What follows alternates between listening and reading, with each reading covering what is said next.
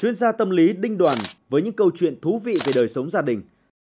Vậy thì phụ nữ hãy dạy chồng từ lúc bơ vơ mới về.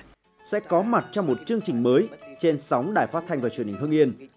Chúng tôi mang đến cho quý vị và các bạn một chương trình như là một món quà nho nhỏ đối với đời sống gia đình với tên gọi Chuyện góc bếp mỗi một chương trình sẽ có những câu chuyện, những tình huống mà mỗi gia đình đều có thể gặp phải trong cuộc sống.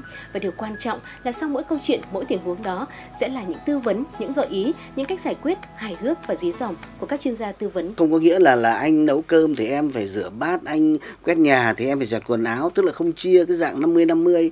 Nhưng mà đừng có một người làm không biết việc, dạ. một người thì chỉ có điện thoại và trong mỗi chương trình cũng sẽ có những gợi ý nấu ăn ngon dành cho các bạn nội trợ. Tất cả sẽ có trong chuyện góc bếp của Đài Phát thanh và Truyền hình Hưng Yên. Chương trình sẽ được phát sóng vào tối thứ sáu hàng tuần và sẽ được đăng tải trên các nền tảng số của Đài Phát thanh và Truyền hình Hưng Yên. Kính mời quý vị và các bạn quan tâm theo dõi.